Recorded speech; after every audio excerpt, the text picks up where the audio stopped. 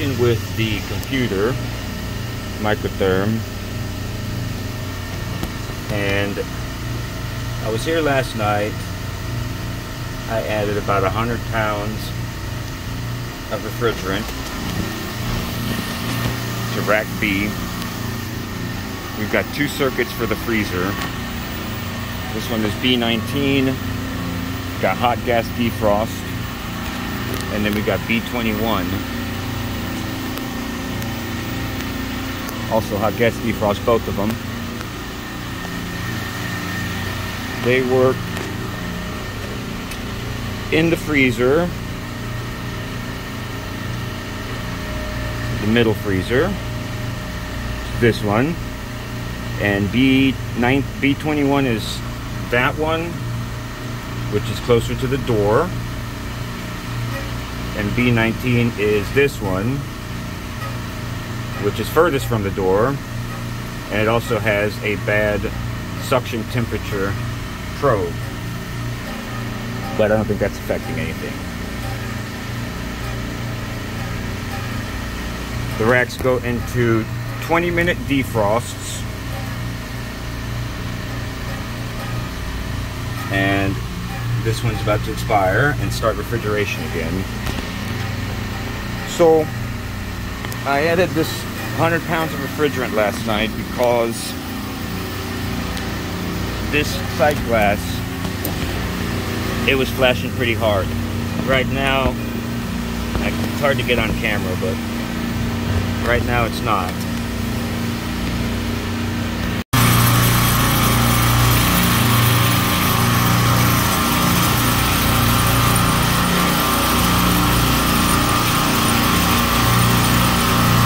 Alright, hold up. I got something.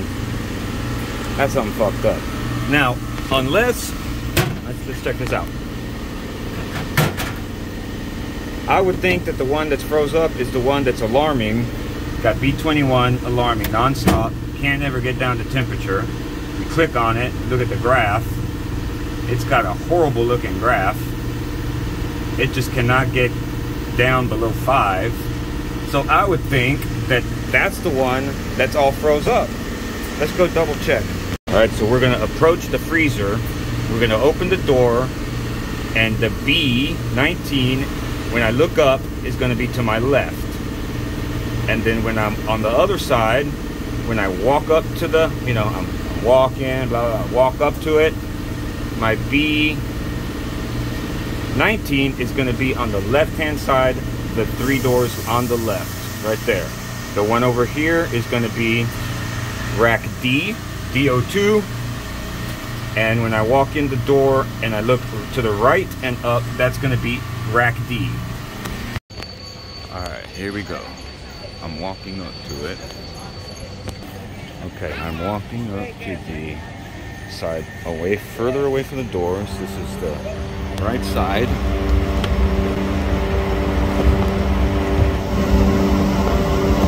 That one has a good layer of ice in the evaporator. That one there. So at first, looks like I was wrong. The ones that are frozen up are on the D rack, rack D, and not on rack B. There we go. We're approaching the door, and we're gonna look up we walk in the door. Okay. Something smells burnt in here. All right, look up and to the left. That's got a clear evaporator. There's no ice on it. That's the evaporator. That's full of ice. And when I look up and I look to the right, so that one is rack D, that one is rack B. Let's just double check. That one, rack B, that one, B21. So my graph here for B19, keep in mind I added 100 pounds to this circuit last night. That is $2,000 our cost of refrigerant. So you can see that my graph shows a little bit of improvement in the defrost high temp coming down after I, because I added refrigerant right about here. Right about there is when I added it. Last night around 10.30. So after, it looks like our temperature came down and then our defrost wasn't that high. I could be tripping. Maybe I overcharged it. I don't know. What I got to do is come back tonight and wash this case because with these case, this case being froze up badly as it is, and this case being a little iced up, these ones won't pull down the temperature like they need to. So I've got, uh, yeah, hold on, there. Over here on my B circuit, I've got horrible looking graph. And look at that graph, that is shitty. But it's all because of this one that's froze up. And I guess it's alarming. Yeah, it's alarming also. But they didn't call that in. Let's see. B21. The one that's alarming more is um, freaking. The one that's alarming more is B21. So you, you would think that B21 is the one that's froze up because it keeps alarming. DO1 only alarmed once. That's stupid. And I kid you not, no, no sooner than I say it doesn't alarm, it freaking alarms. Finally, huh?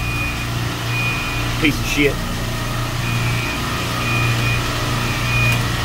Alright, shut up. Alright, I shut it up. So, I gotta do that, set that up with the manager. I'll come back tonight at 8.30 and I'll post another, uh, I'll record it, that way y'all can watch it. Sorry I haven't been uh, posting much lately, but I'll get back on that and um, try to get y'all some content because I've been slacking off a lot lately, so my bad. So thanks for watching, thanks for staying subscribed. If you ain't subscribed yet, go ahead and subscribe, I appreciate it, and uh, see you tonight.